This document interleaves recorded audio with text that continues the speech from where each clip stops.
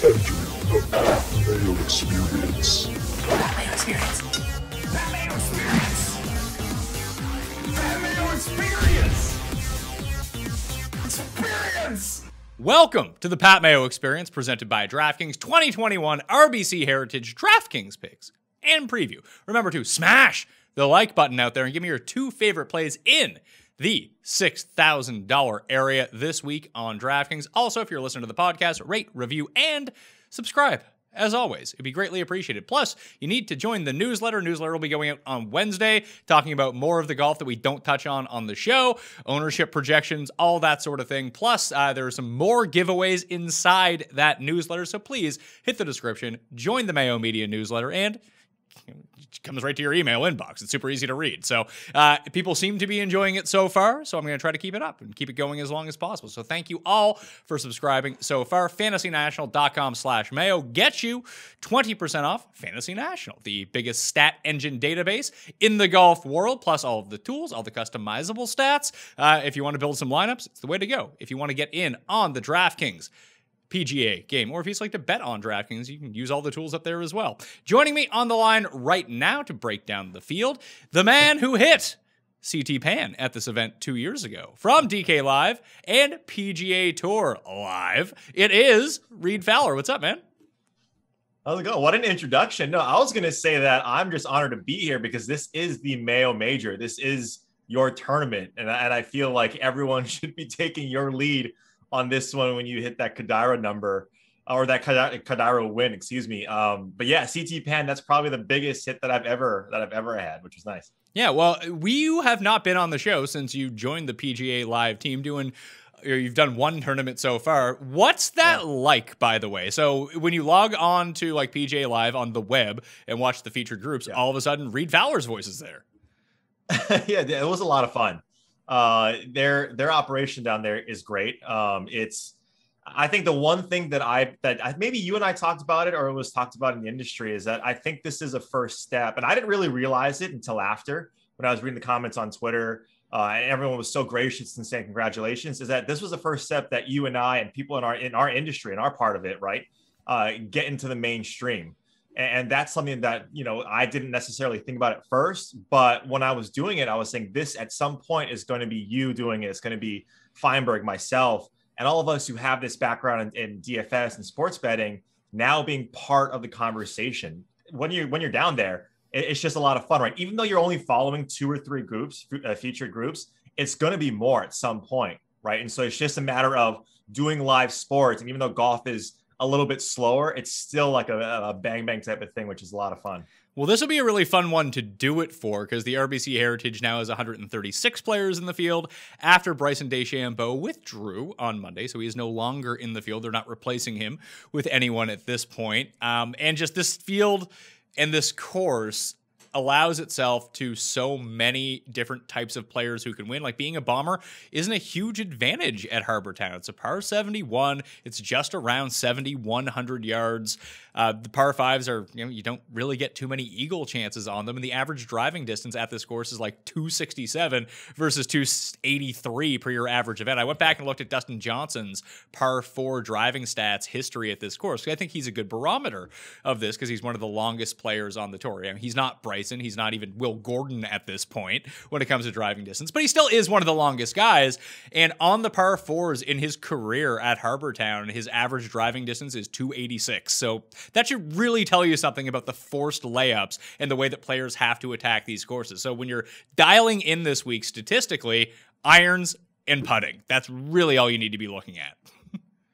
Yeah, exactly. And so that gives, like you mentioned, especially guys that we're going to get to in a little bit that are cheaper than, than Dustin Johnson and the elite guys, it gives them a chance, a really good chance to win. If you look at the past winners here and their odds, you know, Webb Simpson obviously was 30 to 1 last last year, but I would argue that that was a big number on a guy who this this is basically his course right here in Wyndham uh, at Sedgefield Country Club are, are the two places you want to play Webb.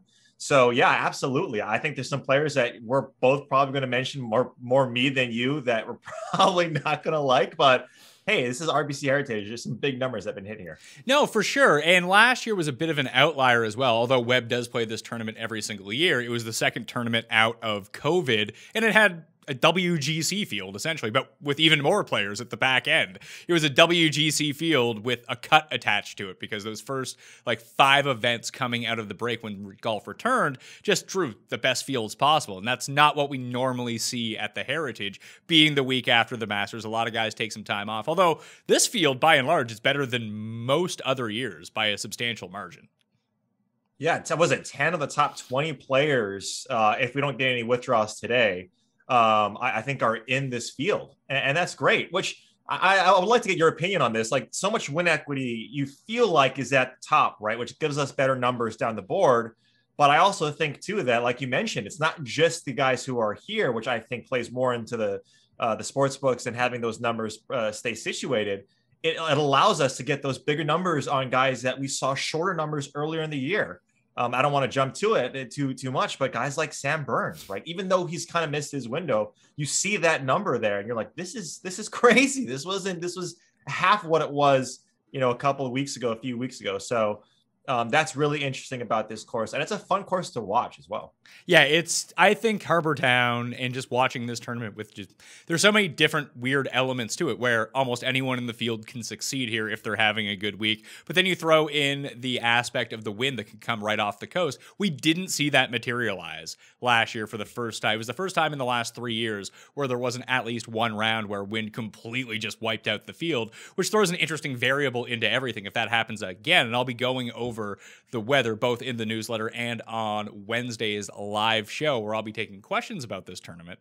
That I just it it's fun. The the variable elements to everything, uh, I think, make for a really cool watch. Uh, and the course itself is just very unique looking. It's a Pete Dye course, obviously, and just looking at it on TV, it's like, oh yeah, okay. Um, you can hit a ton of greens in regulation here, although the green sizes are some of the smallest on the PGA Tour. I always reference the year that both Graham DeLaet had a great run at this event, and who was the other guy? Jason Dufner had a great run at this event. All they basically did was hit every green in regulation through three rounds, and then they finally started missing some greens in round four, and both those guys, the short games, gave up on them, and they bled all the strokes back to the field. So, looking at the stats on Fantasy National, it was kind of striking to see around the green weight in more to the top 10 historically than off the tee. And that just kind of blew my mind. But the one thing I did want to kind of mention about uh, some of the longer esque winners that we've seen here, do you think that we see that again this year, knowing the field is a lot stronger? Yeah, that's the one thing, right? It's I don't think we do. I, I do think that there are some some chances that we're going to want to take just because of, of what we just mentioned, what we just laid out about the course and how it plays. But yeah, I do think that so much, and again, in DraftKings, in the DraftKings context of it, so much of the pricing and value, I think, is at that eight to nine K range. I think there's a, a ton of value, both win equity from a an outright betting perspective and also on DraftKings.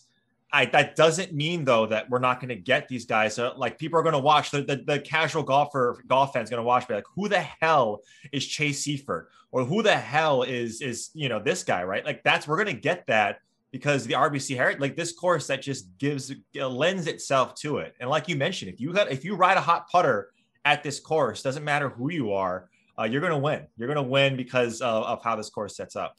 All right, well, let's jump into the pricing. The 10K level, Dustin Johnson, the number one player in the world, still is at the very top. Early ownership projections show that no one is using him at $11,600. So we can talk about that more in a second.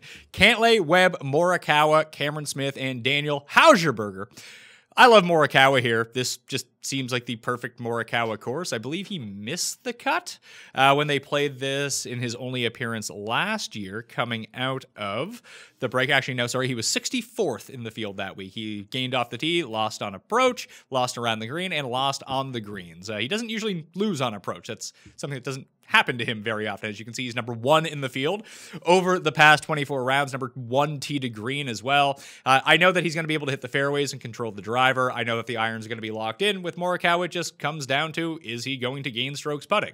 In three of the past five events where he has gained strokes putting, he's won. So I'm just going to go with that guy. Yeah, you worried about his around the green?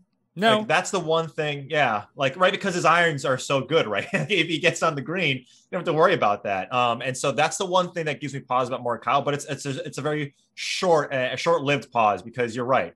The irons are there. We saw it at Augusta National. Um, he didn't consistently have you know the best putting uh, week at, at, Augusta, but like that happens to everybody. It happens to the best. We know how good Morikawa Morikawa is, a major winner, WGC winner. So yeah, at this price tag, right, he's finally properly priced to where you're not like, oh my god, this guy's in the 9K range. We're gonna have to smash this, uh, and he's not 30 to one coming into it.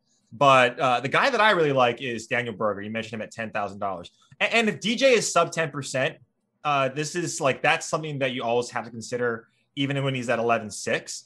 But I like Daniel Berger with the win already at a Coastal course. You see, like to, to me, the Augusta National poor outing doesn't really mean much. This guy is in terms of uh, ball striking, one of the best. You see it there, top 10. So I like Berger. I like him on these coastal courses. I like him on these shorter courses as well, like par 70, par 71 type courses. Yeah. Uh, and then there's always just a way that you can play this where it's a lot like playing Spieth at the Masters last week, where you made the decision are you going to play him or are you not going to play him? I decided to play him. That actually worked out for me for like the first time in ages. But Webb Simpson is that guy at this course. Do you just play Webb and lock in your top 10 and try to figure out the rest from there? Hmm. Yeah, yeah, that's a good point. And look, Webb, like Webb, he played he played all right, right? He played great, uh, like leading in. I believe Thursday, Friday was was you know vintage Webb. He was hitting his irons really well last week, and then he just kind of just faltered a little bit. And that's what we kind of seen with Webb is that he's been such a consistent player, but over the last handful of tournaments, we've seen some inconsistency with his irons. But fading Webb at RBC or fading Webb at Wyndham is a fool's errand. I think I'm with you. Like I'm planting a flag and saying I'm playing Webb at 10-7, you know, and it, you know, I'm probably overweight on the field just because, right? Like you mentioned, if you don't, it's pretty stupid because this course he just takes he takes apart. One thing to look at with Dustin Johnson, I'm looking through the estimated strokes gain numbers from the Masters right now, and if the numbers are to be believed, he lost almost 3.7 strokes putting in his two rounds at the Masters. So I, we've seen him make the run here. It was funny. He was winning by two when CT Pan ended up winning that year, which is kind of mind boggling that it was CT Pan who went and chased him down. We know that Dustin plays this tournament every year. He's an RBC sponsor, so he has to kind of show up for these events. Uh, and he generally has pretty rudimentary finishes, nothing to really write home about, uh, which is kind of funny. Like he's played it five times, three of the past three years, 17th, 28th, and 16th. Uh, he does most of his work off the tee. He is one of the few guys that really does gain I just do think that, and I'll wait for the ownership projections to mature just a little bit, but even at his high price point, there are so many guys in the 6K range that I like this week that it's no problem yeah. to play Dustin. Even if I wanted to pair him with Webb or Morikawa, I don't think I would have that much of a problem making a roster I didn't hate. So that might be the route that I take. Just play Dustin and hopefully he gets his shit back together this week. Yeah, or do like what happened in, in Augusta, the guy who won the Million Maker is fade these top guys, which I don't think is smart. But I do think the balanced construction is going to be contrarian. Uh, even with the value that you see between the nine, seven, and the eights, I, I, I do think that people are going to look at that and say we we have some primetime players here. There's a strong field, and to, to, to what you just said is that there is a lot of value I think in the six K range that we usually don't get at this course. Yes, we get the long shots, but this with these with these guys here, right, ten of the top twenty you're going to see the the stars and scrubs play. I think a little bit more than the balanced lineup. But yeah, you're right. Like when you when you take a look at these guys and how they play, um, you know anything can happen. CT Pan chase down chasing down DJ is one of my favorite memories the year that I had all the success on DraftKings at this tournament, that's exactly the approach that I had. I didn't play anyone in the 10,000s. I had three 9K guys and worked myself down from there. So it's a viable strategy at this course because we've talked about that almost any skill set can win. So if one of the top end guys doesn't go out and kind of run train on everyone, you're looking a whole lot better. The two other ones in this range, uh, the one I have projected at by far the lowest ownership is Cam Smith. And then there's Cantlay, who it's funny to see the early ownership numbers on him is that he's around like double what DJ is. And I thought that was really strange coming off the week that he just had. Is it one of these situations where everyone's just like, ah, let's give him a gimme on that one? Or is it like, oh, yeah, no one's going to play Patrick Cantlay. So I'm going to be really sneaky and play Patrick Cantlay. Then it turns out that everyone plays Patrick Cantlay. Yeah, the double reverse. Um, yeah, I don't know with Cantlay, man. I I just have no read on Cantlay. Look, like if you take a look at just his his recent form, right? The miscut players and masters, you know, that should give you some pause, especially with the guys around him. But like, I just don't know where his game is at. And I think it, it comes down to the fact that he's played well, right? Like he second place at the Amex, almost chased down Siwoo there, had a great Sunday, um, which is not a, a Pete Dye. It is it's, there's a Pete Dye course, but it's not as Pete Dye esque as places like RBC, like like TPC Sawgrass. Um, and we've seen him do well on Dye courses, right? So all the stats are lining up. He just didn't do any like he he looked atrocious at Augusta. So that's enough for me to, to, to say I'm going to be overweight on Webb. I'm going to look at playing DJ as much as I can because that because of his 2x ownership over DJ. Uh, in round two at the Masters, Cantlay actually he didn't really turn it around, but he did gain with his irons. He did gain around the green, continued to not putt whatsoever. And I think that Dye correlation is kind of interesting here. Like you mentioned, the American Express, they played three rounds at the Pete Dye tournament course this year, where they normally only play two. And obviously, that's where Cantlay went and put up his huge number.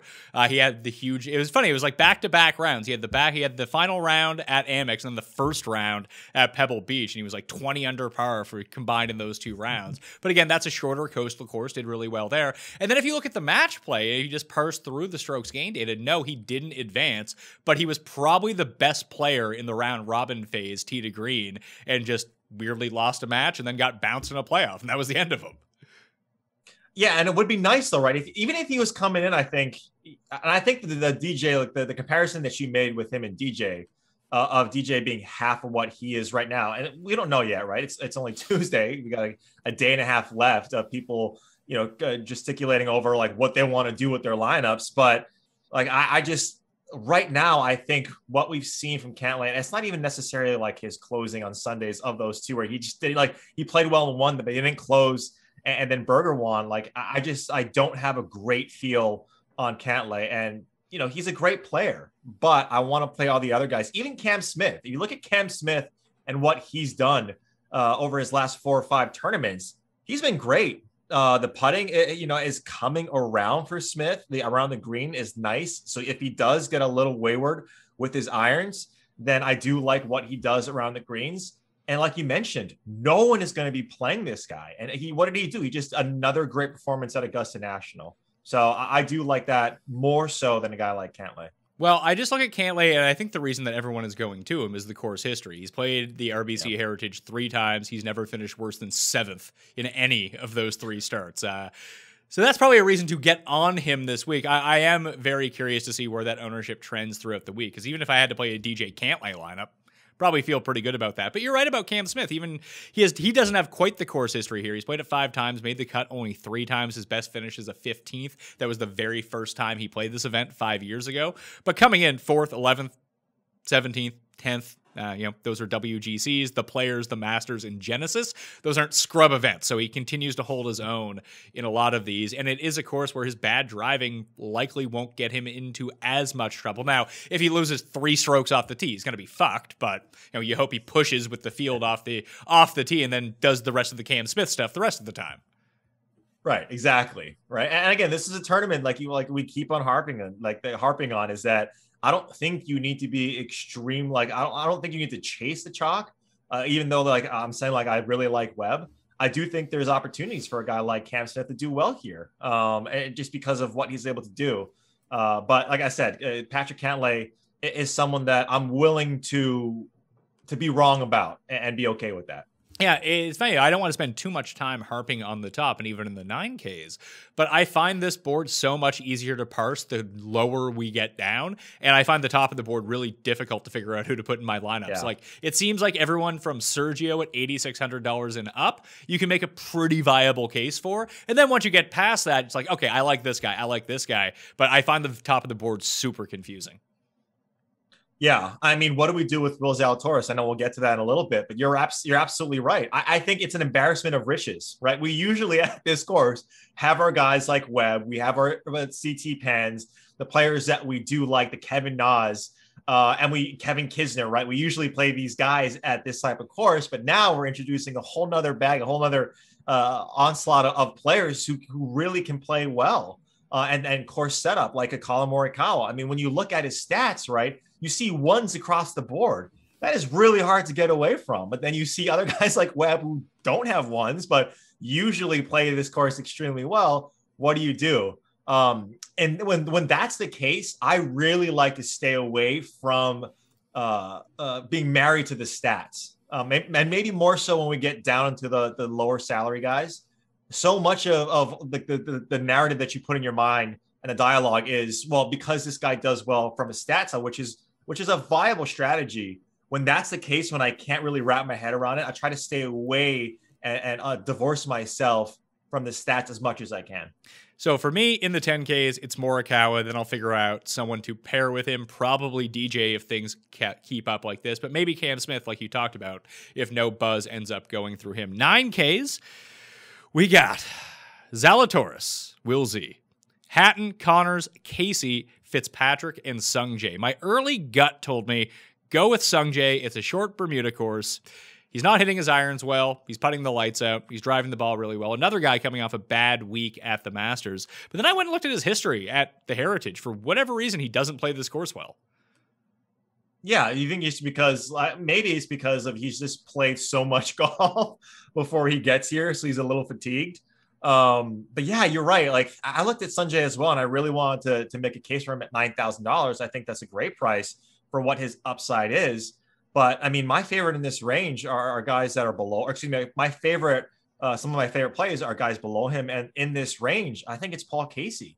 Um, when you looked at his Sunday round at Augusta, uh, he he had a couple of heaters. Like he had like a, a birdie streak of four. Uh, yes, he, he gave that back just because he, he didn't have his full game going. He is doing a new putting stroke though. He's got the reverse uh, putting stroke right now, where the, the the front hand is low and, and he was trying that out, and that's what the broadcast was. To Colt Knost gave us the inside scoop that he, he de- uh, deployed that strategy in Sunday's round, but he was putting extremely well. Then if he brings that here and his course history and his ability to play well on Pete Dye courses, I really like him at $9,200. I think for me, I mean, it's hard for me to get away from Hatton, who's a top 10 player in the world at this price, especially because he was in the mix uh, last time around last year at Heritage. A lot of that was putting related, though. And then on paper, Matthew Fitzpatrick always rates out well for this course. This is where you think that he would play really well. And then looking at his Masters numbers, it's a very atypical Fitzpatrick performance. I think he ended up coming in know, like 24th or something like that. But he gained almost a stroke off the tee per round. He gained a half a stroke with his irons per round, lost a half a stroke around the green, and lost half a stroke on the green. Like that is the exact opposite of how you would think that Matthew Fitzpatrick would play, wouldn't it? Yeah, right. And, you mentioned it too, right? His off the tee game is has come into form over the last handful of weeks, and since he's been in the states, he's been playing really well. But you're right. Like, I mean like are, are we buying the dip so to speak on Matty Fitzpatrick? Not necessarily in price but in perception right? Where he was he was hot for like a month. And now we see him and like you're kind of like nah okay there's other guys like you mentioned like a guy like like Tyrrell Hatton who did bring it back around even though he was looking up to the sky palms up at, at certain points at Augusta National. He brought it back around at, at a course right at Augusta where he doesn't necessarily play well. So like Fitzpatrick to me right now is someone that I'm also fading, which might bite me in the ass. But at the same time, I do think that riding the hot Will Z, I, I, I could get behind that. I'm not personally doing it, uh, but I'm putting like a lot of stake and planting my flag on Casey because I know that he's going to come in uh, with a lot of popularity early projections do show that this entire range, except for Sungjae, is going to be like over 15% owned. So I yeah. do think that you're going to just see, I, and I think a lot of people are very comfortable with the low sevens and sixes. So you might even be able to jam two of these guys plus a 10K guy into your lineup and just roll it out that way if you wanted to. And I think that some people will do that balance strategy, like you talked about, maybe use two or three players from this range, or two of these guys plus Ancer, who's going to be super popular this week. And I don't think that's a bad strategy, but but I could see myself not using anyone in the 9Ks. Like the on paper, you can make the case for all of them. Zalatoris, Hatton, Conners, especially. Like this seems like a very good Corey Conners course because if he's hitting greens in regulation, these are small greens. The three putt percentage of this course is almost non-existent. So you know maybe he'll just get lucky and start rolling in some putts. And I do think that Valero is a pretty good comp course. Like obviously Wyndham and mm. Sony and Honda when you look at those ones. But if you just look at who plays well at that, ever since they've moved Valero to that course, that all all of a sudden you're like, oh, okay, I can see like there's a lot of crossover names. Like it's a course where Branden Grace plays really well. And he, obviously he's won here. It's a course where Siwoo Kim plays really well. Obviously he plays really well here. It's it's Pete Dye adjacent. It feels like, and mm. you know Corey Conners has a win at that course as well. So uh, it's really tough for me to kind of parse here, but I could see myself fading this entire range and just overloading on the 10Ks. Yeah, yeah. Um, I, am just waiting for Conners to do the rug pull on us, right? Like he's been playing so good uh recently. Guys like number one, like in my stat model, I see him as number one. And so I don't know if that's because I just uh, extremely overweight on approach and uh and you know and, and good drives, right? When you look at just uh, that stat, he's also number one.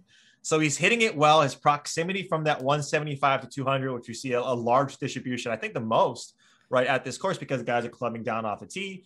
Uh, and that just makes the most sense. And you, like you mentioned, those those forced layover or those forced uh, carries.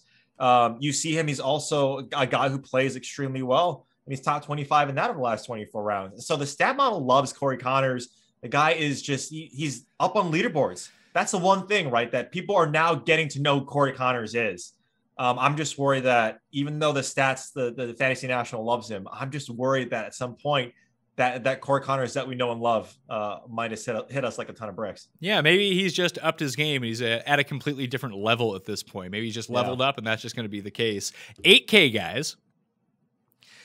Ancer going to be super popular. 8900 bucks. Fleetwood, Harman, Sergio, Lowry, English, Westwood, Horschel, Kevin Na, Matt Kuchar, and Russell, I don't know. Russell Henley is seventy nine hundred dollars. Kuchar is eight thousand bucks. Kuchar is interesting because he's started to play well at like old school Matt Kuchar courses. This being one of said courses, but I look at Sergio at eighty six. I don't care what he did last week. I love him at this course, so I'm going to play Sergio at eighty six. And Billy Ho getting no love at eighty two hundred bucks. Uh, I'll change that. I like Billy Horschel. yeah, uh, if if Kevin Na wasn't right below Billy Ho, uh, and Kevin Na, I think, is, is maybe slightly overpriced, even at $8,100. I would have loved him in the 7K range, but probably sentiment would have been a lot higher. Um, I, I think you're right, though. Billy Ho should not be $8,200, especially with this guy who was in contention just a few weeks ago. He, I mean, he won the match play, for God's sakes. I don't know how he's not, uh, you know, in the high 8K range. You're right. Ancer is going to be extremely popular. I still like him. I think this is a this is a place that he can have his first win on the PGA Tour. I think a lot of people think that. The books also uh, are hedging against that. That that a lot of people are on that same uh, sentiment.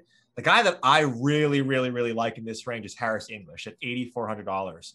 When you take a look at what he after TOC, he was god awful, right? Like fatigue, whatever it was, hit him, and he just was playing bad. Now with you know back to back top thirties, um, and then his best performance, I believe, at Augusta now he comes to a coastal course where we've seen Harris English play well at the RSM. We've seen him play well at Waialae Country Club. He's played well here. This is his style of course where you get him on a shorter Bermuda course and he's trending now in that direction.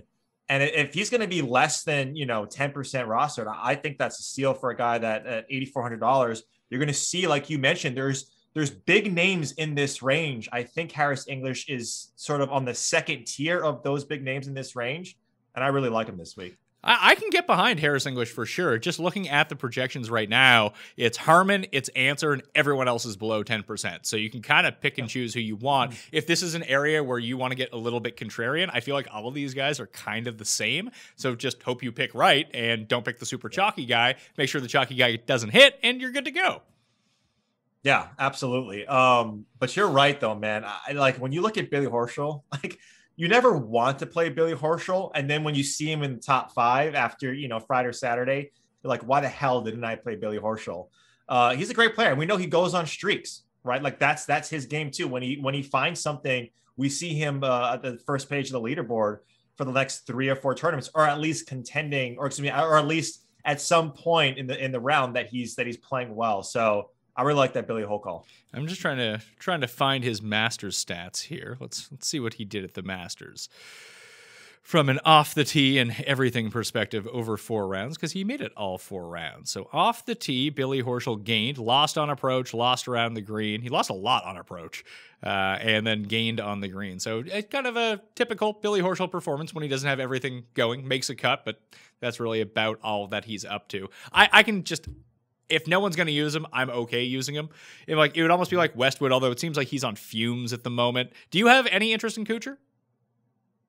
Uh, no, not really. Uh, I see what you're saying though, right? Like you started to see him more at at the match play, uh, and when he's he's just playing better on those courses. But I still I, I am the silly person that has to wait to see him Kuchar first, and then play him chalk, and then him miss the cut.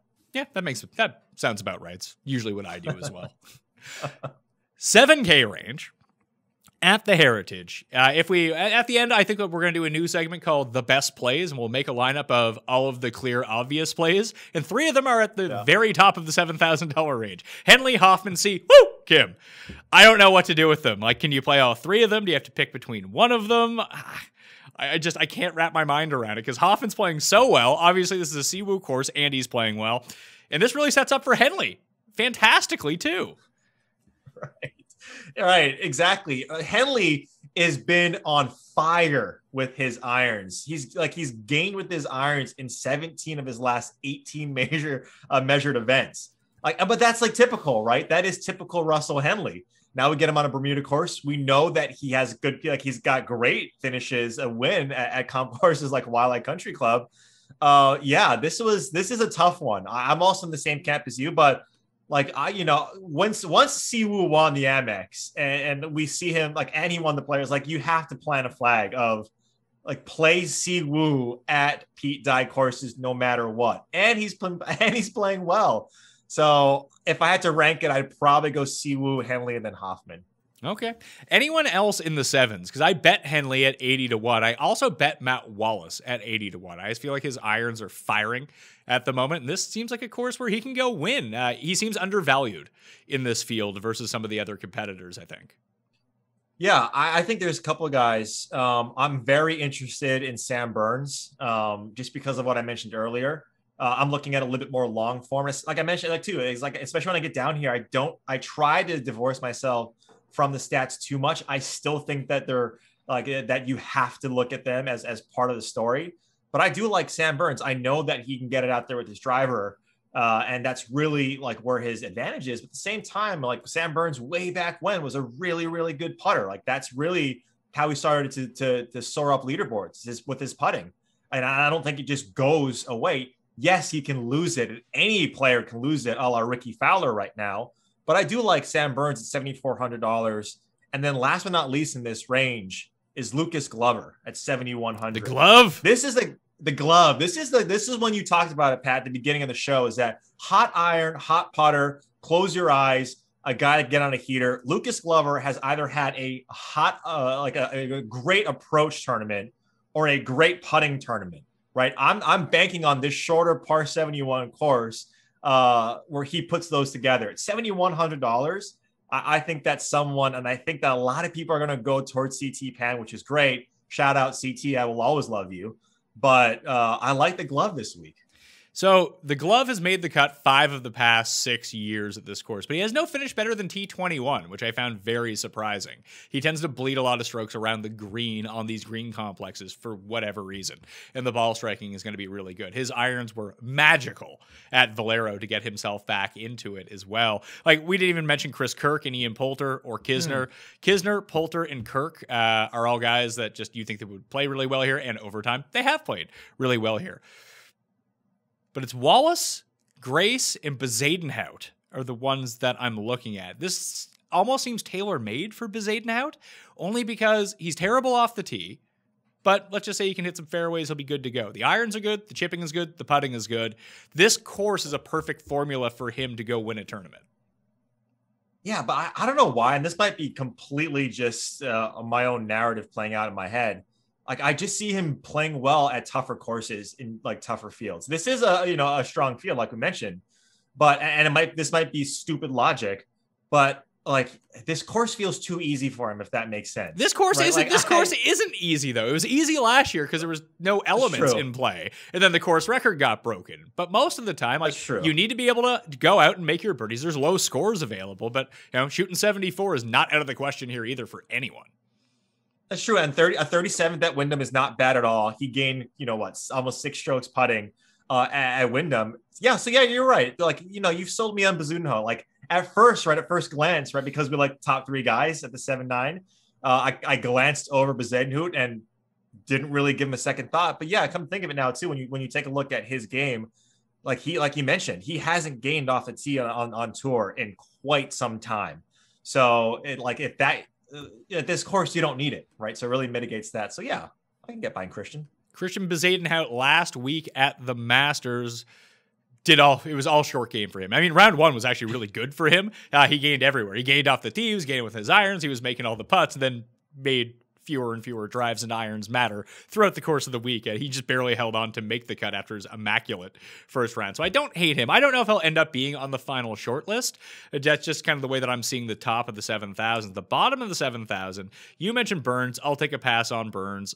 I'll take a pass on Munoz and Cam Davis and Ortiz. All the guys I normally play. The ones I'm using, Aaron Wise at 7,300 bucks. And I really like Michael Thompson at 7,200 bucks here. I think that he is perfectly situated for this course when you go back and look at his recent form in terms of irons, there's only two ranges where he gains from, and it's 150 to 175, 175 to 200. And that's where the vast majority of his strokes are going to be coming this week. We're back on Bermuda. We know he can putt on that type of surface better than anywhere else. And I was really impressed with what I saw with him at the Masters. That's one of the great things about the Masters app is that you can go back and watch the shots. Everyone wants to see, oh, how did Hideki win? Oh, how did Xander lose? No, no, I'm going to scout Michael Thompson here. And he actually impressed me with the way that he played at the Masters.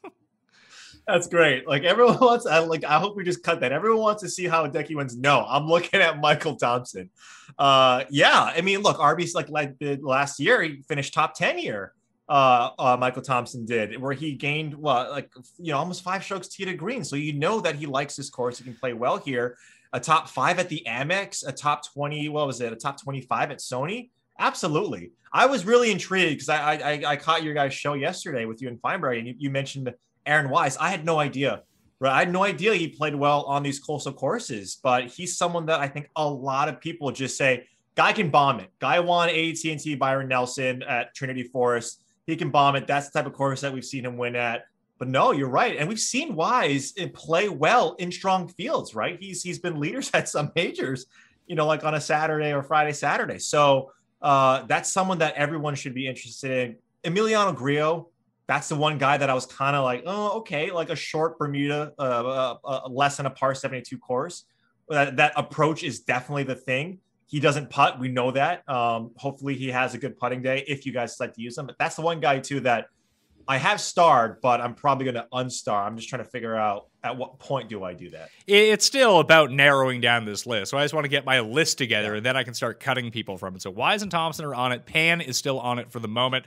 And I throw on Denny McCarthy. As Feinberg pointed out, like, isn't this a course where Denny could just putt and he'll be fine? It's like, yeah, it actually is one of those courses.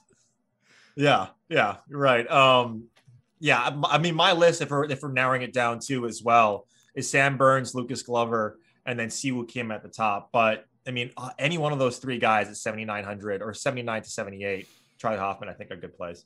Yeah, I'm just looking at McCarthy too. He's actually gained on approach in three straight events. Not a significant amount of strokes, but he's not bleeding them to the field. Uh, maybe you get like a, a break even off the tee week. Maybe he can gain a total of one or two strokes with his approach and just do the thing where he gains eight strokes putting and all of a sudden he's inside the top 10 again. Like, I don't hate this is there are certain courses where I think McCarthy is a very viable DraftKings player. And even if you just go and look through his results, I, I, think that you can see that as well. Like, where has he played well? Oh, he played well at the Honda, a short Bermuda course where he puts the lights out. You know, at the Bermuda Championship, fourth. Sanderson Farms, sixth. The Wyndham, ninth. How has he done at this course over time? RSM, eighth. Uh, it just yeah. there's a certain style of course where he kind of shows up. He has a 33rd and a missed cut here. He missed the cut last year against that tougher field, but he was 33rd the year before that. You know, he gained his over four strokes putting, lost on approach, broke even uh, with the field off the tee, and gained around the greens. Like that's sort of going to be the Denny McCarthy blueprint, but you don't have to pay much for him is the thing. And if you can get that outlier week, like it's one of these situations where we always talk about the Conners and the lists and the Byung-hun and even to a certain extent, Hideki, is these guys are such good ball strikers that's so consistent for them. If they ever just putt during the course of a week, they are going to win. And we've seen that play itself out over time. But I do think there is something to the Denny McCarthy's of the world, and even Mackenzie Hughes, as we've seen time after time, that mm. if they just strike it kind of okay and they have their like normal hot putting week, like it's sort of the inverse for them. Like just be okay ball striking and figure out the rest. Like they can do that. and him and Hughes both at $7,000 at this sort of tournament where putting matters so much more than a lot of other events. I could see them being viable. Yeah, and I think psychologically at seven thousand dollars because of the other guys that we talked about, I don't think much people are looking there, right? No. I don't think that because yeah, because of six K is there's a lot of value. Uh, I think you're right. Is that you also like you have to find the pockets that if you're going to win a GPP, like you know, or you know, place like you did, you're going to have to find these these pockets where no one is talking about it. And, yeah, of course, a guy like Satoshi, who's way down in the 6K range, no one is going to talk about as much. But you have to find a case for that. You know, here's one thing, Pat, that I'm you know I'm looking at. I know you're going to hate this call, but if that's a case, right, where approach we're like uh, approach is definitely something that you have to have here. Putting definitely something that you have to have a, a hot putting week. Brendon Todd, who's he's been god awful with his irons for like the last two months, like the last month or last you know four to six tournaments. He's a great putter, and look at the past wins that he's had. Right, he's had these wins on these coastal courses. Now his current form is trash; it's garbage. Um, so you're going to have to kind of throw that out the window but that's just an example of at $7,300, not coming in at a ton, a ton of ownership at all. That's someone that you could potentially make a case for. But you're right about the other guys. The one thing about Michael Thomas too that, that I'll you know kind of throw it to you is right now in Fantasy National he's coming in at 12% as his projected ownership. At what point, right, does you are you going to go overweight on Michael Thompson or or what's what's your move there? I, I don't. I mean, I probably will end up if I'm playing someone in my lineups. Yeah. I narrow my core down so much that ownership really never makes that big of a difference for me because I'll play mm-hmm. 20 lineups and I'll have 17 guys in those lineups and I'll use at least every player in three of them. So you know, I'll be at 15% just through osmosis kind of thing uh, yeah. with that. But I there's sometimes when you and this, these are very early ownership projections for one thing, and I do think that the first run of ownership projections can get skewed based on like a lot of people who are members of Fantasy National watched the show on Monday. We were big big talking Michael Thompson. I think as the week goes mm-hmm. along, uh, it was and even no matter where you look for ownership projections, whether it be Fantasy National or somewhere else, there are certain guys that you just know that the public aren't going to use. Uh, and that happened last week at the Masters. I forget who it was, but there was someone who was projected at like 13% ownership because everyone who looked at stats was all over the guy. And then no one, who, people who don't look at stats, didn't know who this guy was. Fuck, I can't remember who it was now it's killing me. Uh, either way, that some of these guys get overinflated because their stats look really good, and sharp people will be on them, or quote unquote sharp people. I am not sharp. Uh, people like to think that I'm sharp. I am not. I'm very, very dull when it comes to picks. Trust me on this, especially lately. But when it comes to talking up someone, I think that with ownership percentage, it can get baked in negatively. And the longer the week goes along, the less that's going to be a problem. So, no, I'm going to play Michael Thompson either way. I'm not too concerned about yep. that. But Todd was actually one I wanted to bring up only because he gained with his irons at the Masters last week, which blew my mind.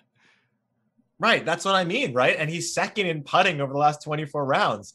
Uh, and so he's someone again that you know I, I, there's a star by him right now. This kind of goes to your your point as well, is that if you're looking at the ownership projection tab on Fantasy National and you see who's favored, right? Like it's still way early. Like like don't take these things uh, and and you know make them true right now because things still have to pan out. But yeah, I think and this is why too, right? This entire range, all I, I think you know up until the certain point in the 8K range, there's a ton of value.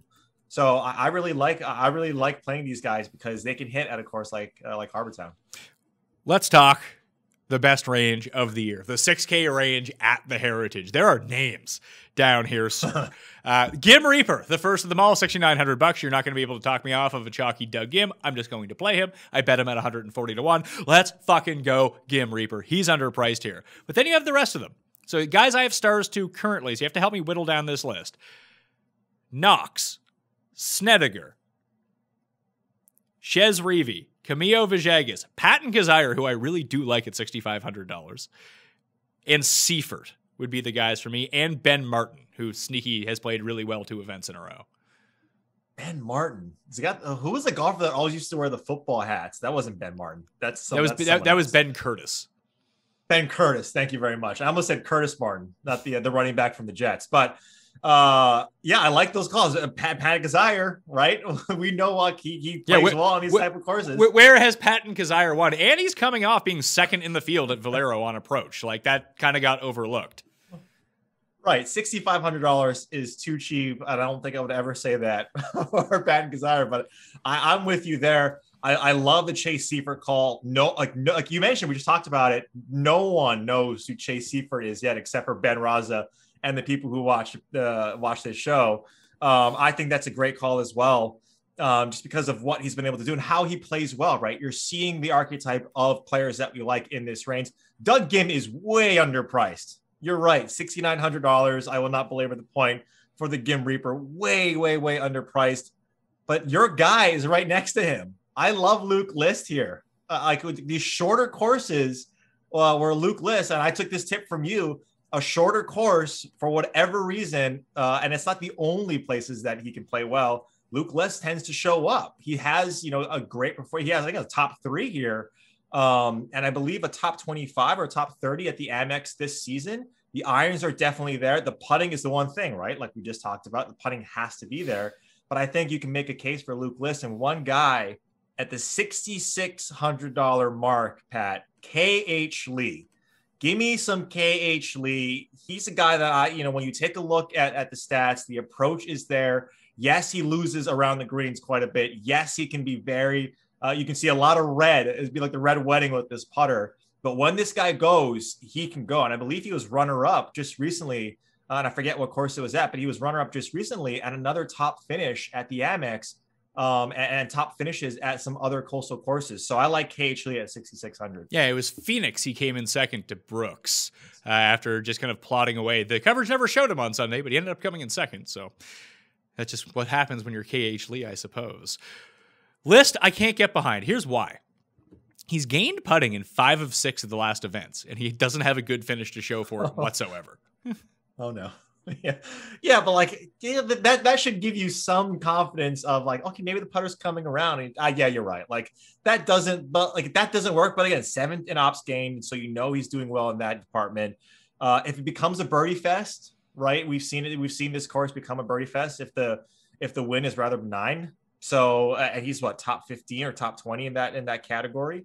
So I, I do like it. As the the inventor of basketball, your boy Matt Neesmith is also there as well, but of those sixty nine hundred dollars, yeah, I think the most uh, the most uh, egregious pricing right now is Ghim at sixty nine. Uh, the only one that I would go to even lower than this that I'm thinking about now, just because it's a Webb course and I have this guy kind of paired with Webb in my mind, uh, and the only like three courses he plays well are RSM, Wyndham, and here is T Dunks, sixty one hundred bucks top 30 dunks. here last year. And he's actually gained in one, two, three, four, five, six consecutive events. Gained off the tee at Valero and Honda. He missed the cut in two of those, uh, even at the players. Just very, very poor putting performances from him recently, which, you know, you're going to get, but he's a very accurate player, good with his irons.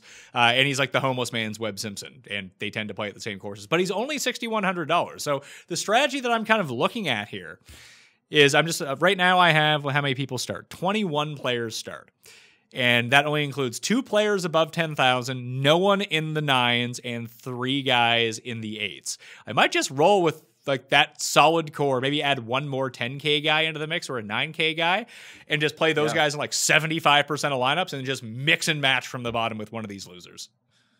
Yeah, all right. And another guy, like we're going to mention losers here, and so stop me if I'm getting too uh like too chaotic here and disorganized. But yeah, I mean the, the players that you're talking about too, right? Like the T Dunks, Peter Malnati, uh, Peter Malnati is down here.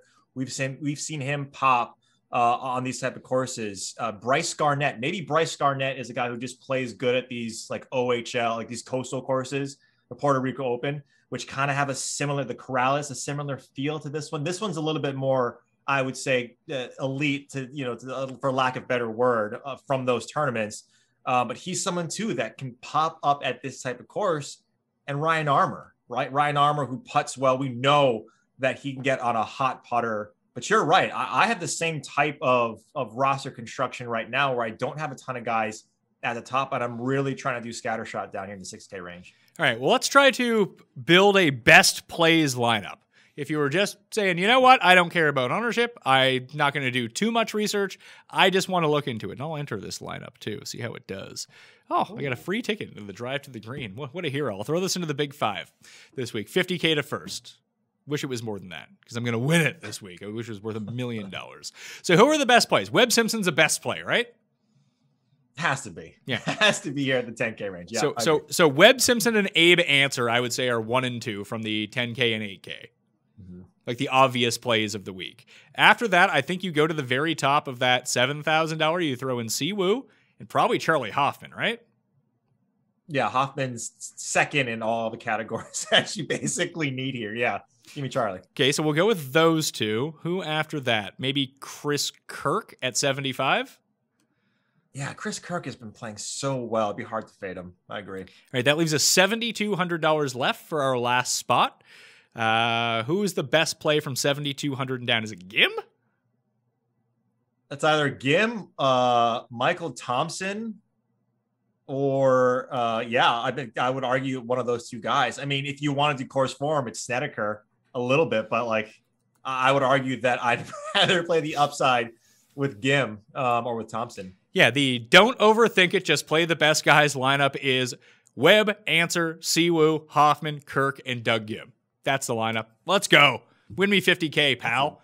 Please don't split that with me. lineup right there. Yeah, I think so. No, but I mean, it's funny because I made one of these lineups last week at the Masters. Just like the don't overthink it, like don't worry about ownership, don't do anything, uh, just play the best guys lineup. And it was like one of my only six of sixes. So it might be a new strategy I- that I take.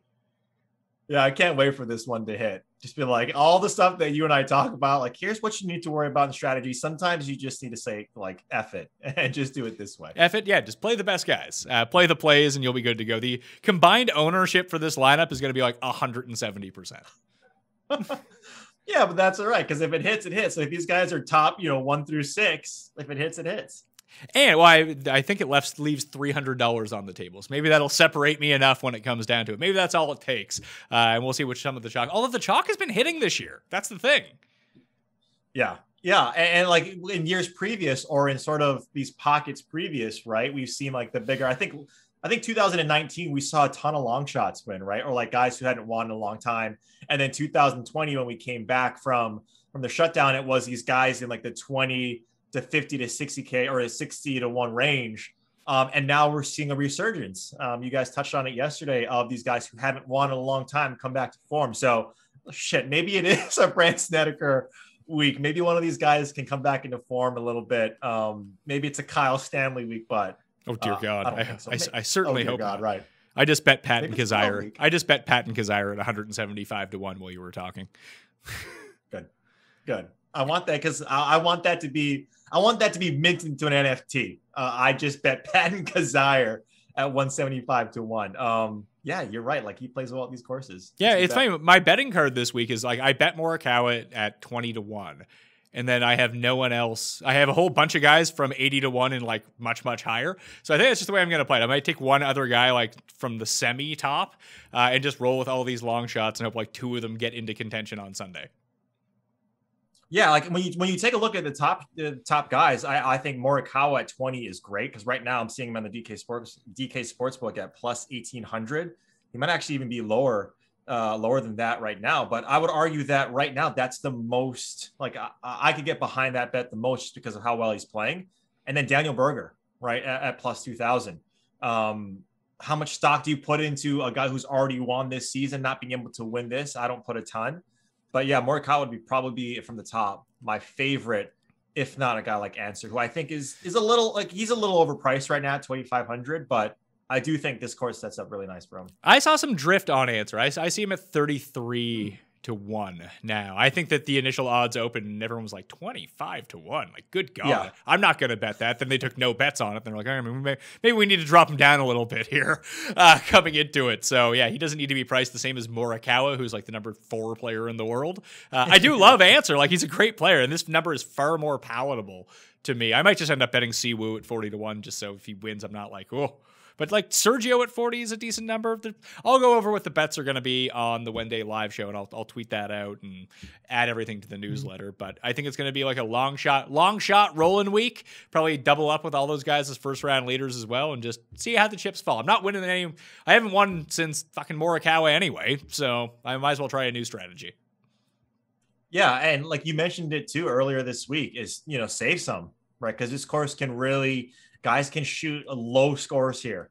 Um, so save some for the weekend, same so save some for Sunday morning, uh, Sunday afternoon because that can, that can also be a viable strategy. Yeah, the the sun the Sunday comeback is no stranger to the RBC heritage. Yeah, and it's great, especially when you have that ticket Sunday morning and it's you know an eighty to one, and a guy who you just see shoot a sixty here. Uh, it's a great feeling. So yeah, keep keep some bullets in the chamber. Yeah, and then we're all going to be sitting here on Sunday. And it's like, oh, Dustin won by 15. Great. Right. Like that's that's well within reason, right? Like he can shoot 80s and then come back and do what he did at the Travelers, right? That's well within reason for a guy like Dustin. That's why I said at the very top, even though he's not playing well, even though there's guys like a Webb Simpson who's the best player in that range, if you're getting Dustin at that type of ownership, it's just that's like that is too tantalizing to not at least throw him in a couple of lineups. Dustin Morikawa. I think that's how I'm going to be starting my teams. Anyway, Reid Fowler. Follow him on Twitter at Reid T Fowler. Check out his work on DK Live. What you got going on this week? Uh, I got a show with uh, Ulrich. Ulrich coming. I'm almost forgot his name. I was going to say the Fantasy Grind, but Jeff Ulrich and I do a Q and A show on our YouTube channel, DraftKings YouTube channel, that happens around three o'clock, where you guys just load up your questions the same way Mayo does tomorrow. This is just a little bit earlier, um, where you guys can come in and load up those questions. And then uh, the pivots article that I do is coming out on Wednesday morning, Wednesday afternoon, usually. Uh, but rather, other than that, I'm gearing up for the NFL draft as well, Pat. That's coming up in like two weeks. Uh, I blinked and the NFL is already coming back. So we got that and a bunch of other stuff. NBA, MLB, all the guys are doing at DK Live. So that's where all the work is. All right. I'm Pat Mayo. You can follow me at the PME on Twitter. You can also subscribe to Mayo Media Network if you have not done that yet, and the podcast live show. 12 p.m. Eastern Time on Mayo Media Network on Wednesday. There's also a Euro Tour show out right now. Tom and Sky covering the Austrian Open. That should be a fun one. Maybe you can make some doubles along the way. Some long shot doubles. Take, I don't know, who the hell were they taking? Let's see here. Who did Sky take?